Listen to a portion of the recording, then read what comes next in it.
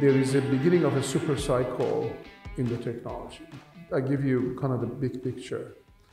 The past cycles was about technologies that improve humanity's information access.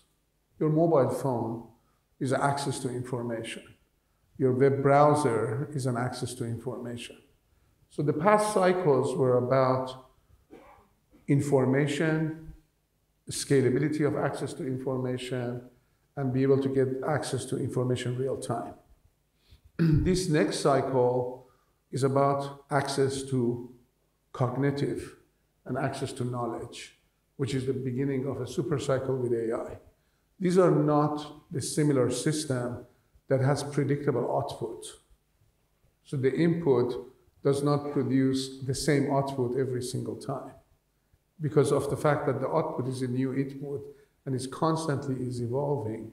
So we are entering the age of cognitive age or the knowledge age. And it's a very different characteristic to it than the information age that we've experienced.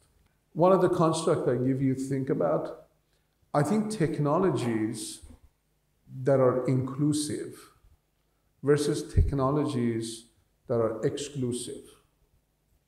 Technologies that are inclusive tends to win. Technologies that are exclusive tends to die fast. Mobile phone is an inclusive technology. Internet is an inclusive technology. AI is an inclusive technology. Any technology that are for elites, they don't become standards and they don't win. So technologies like AI, which can have such a broad base of support and leverage in society, will win.